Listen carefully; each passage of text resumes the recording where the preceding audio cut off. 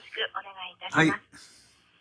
えー、円安が止まりません。えー、現在1ドル137円ということですけれども、この円安いつまで続くんでしょうか？よろしくお願いします。そうですね。えー、まあご存知かと思いますが、円安がずっと続いてまして、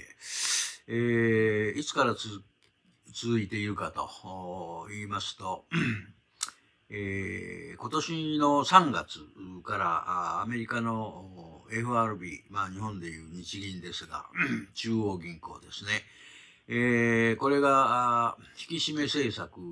に入ったわけですね。えー、金利を0.25%上げるということが発表になりまして、えー、さらにですね、5月になりますと0.25ではインフレに対する効果がないということが分かって倍の0.5%に利上げをする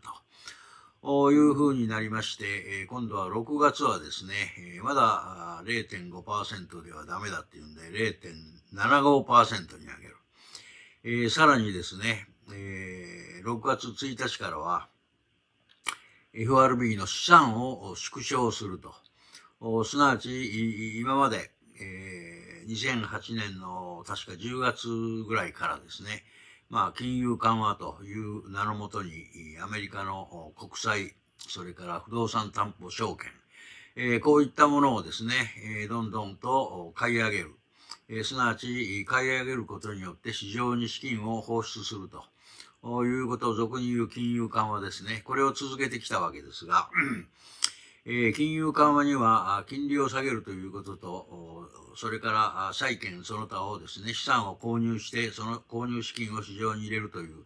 この二つの道があるわけですね。えー、その利上げの方、これはまあ6月は今言いましたように0.75%に上げる。そして一方ですね、今度は資産を縮小しましょうということで、6月1日からですね、資産の縮小が始まった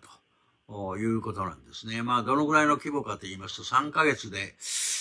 えー、日本のお金にしまして、10兆円プラスぐらいですかね。えー、それだけですね、市場からお金を吸い上げていくという、まあ、こういう方法を始めたわけですね。えー、ところが日本の日銀の方は、え3月になっても5月になっても6月になってもですね、え全く、この、金融緩和をやめる気配がないと。従来通り、あるいは必要によってはですね、もっと金融緩和政策をすると。そして、金利の方はですね、イールドカイールドカーブコントロールっていうんですが、まあ、要するに市場に介入してですね、えー、金利を0.5%から0.25%にですね、えー、固定してしまうと、動かさないという政策をとっているわけですね。そうするとですね、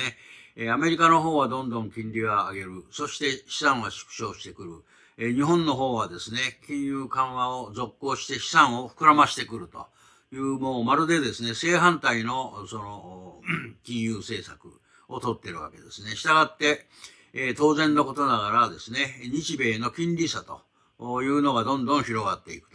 ということですね。まあ、アメリカが、3月が0.25、それが6月が0.75ですから3倍にですね、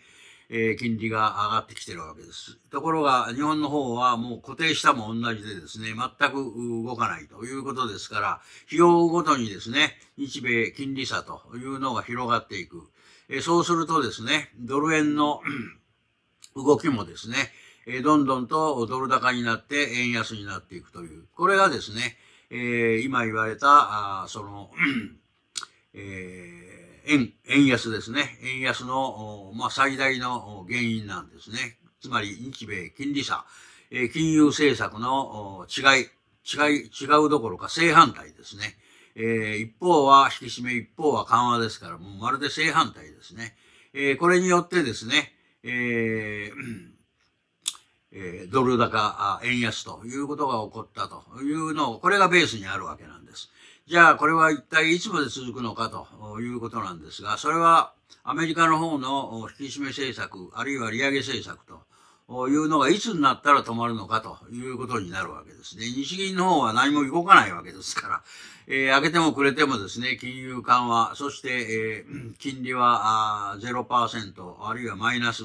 0%から0.25%、これを動かさない。つまり、ゼロ金利政策を取ってるわけです。これは不変なんですね。そうすると、いつこの日米金利差が 拡大しているのが縮小してくるかというところにかかってくるわけですね。そうすると、じゃあ一体いつアメリカはこの引き締め政策を緩めてくるのか、終わるのかということになるわけなんですが、現状を見るとですね、相変わらず消費者物価上がってますし、えー、まあ生鮮食料品からガソリン代からですね、えー、生活に必要な、まあ、いわば生活必需品というものはですね、えー、全く下がることを知らず、えー、上がり続けてるわけですね。えー、そ、それならばですね、なおさら、あこの FRB の金融政策としては、あ引き締め政策を強化せざるを得ないということですね。えー、ということならばですね、まだあ引き締め政策が強化されるということになれば、まだ円安が続くということになるわけなんですね。えー、ところがですね、えー、よくよく調べてみると、6月の8日だったと思いますね。まあ大体6月の上旬ですよ。6月の上旬からですね、実は原油価格が、あこの下降線、下がり始めてるわけなんです。まあそれにはいろいろ原因が、原因があるんですが、サウジアラビアが、あまあ、オペックという、まあ、産油国の、その、組織がありまして、これが増産を決めるということ。それだけ原油の量が増えてくればですね、原油価格が下がってくるわけですね。まあそういうこと、それからまあ中国がゼロコロナということでですね、あの経済大国の中国、ゼロコロナでですね、えー、経済活動が相当制限されるということで、えー、原油の最大需要国である中国の経済が少し落ち込むということになれば、中国の原油需要というものも落ち込むということですね。えー、そして、まあ、あるいはこれやですね、欧州の方も政治的にですね、えー、ロシアからの原油天然ガスの輸入量を減らしていくとということになればですね、これもまあ、え、本当は原油価格の上昇ということになるんですが、実は減らすからには減らすだけの代替エネルギーというのがなくてはいけない、あるわけですね。えそれに今どんどん切り替えてるわけですから。ということはですね、え原油の需要がやはりこれから落ちていくという。まあ、あれやこれやいろいろ理由はあるんですが、これから原油価格が下がっていくということ。それから他のですね、いろんなあのカッパ、銅ですね。えー、銅であるとか材木であるとか、あいろいろ原材料あるんですが、えー、それの価格の推移を見るとですね、いずれも原油と同じように6月からこう下降線なんですよ。ということになるとですね、このインフレはそう長くは続かないというのがまあ私の見方でありまして、じゃあそう長く続かないというのはいつまでですかと言われるんですが、まあ、あなぜかを説明するのにはちょっと1時間ぐらい時間かかると思いますが、結論だけ言いますとね、えー、まあ、ドル円相場の取引があるんですよ。もうあの、相場ですから、あ相場の売り手買い手のいろいろ駆け引きとか取引とか、そういうテクニカルな面が一つ。からもう一つは今言ったようなですね、原材料、世界の原材料がですね、え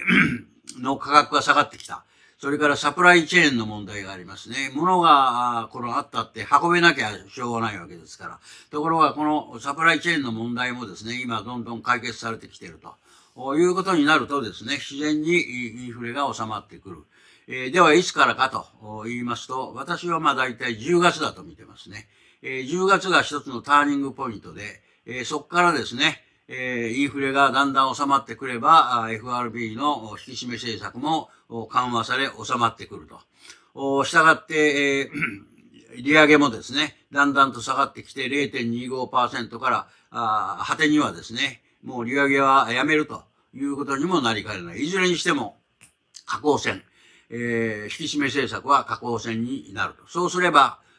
当然のことながらですね、反対に円高になってくると。いうことですね。このターニングポイントは私は10月だというふうに見ております。もありがとうございました。はい。この番組では、増田敏夫先生への質問を募集しています。ラジオ盛岡の送信フォームよりお送りください。増田敏夫の高手で勝つ日本復興のためにでした。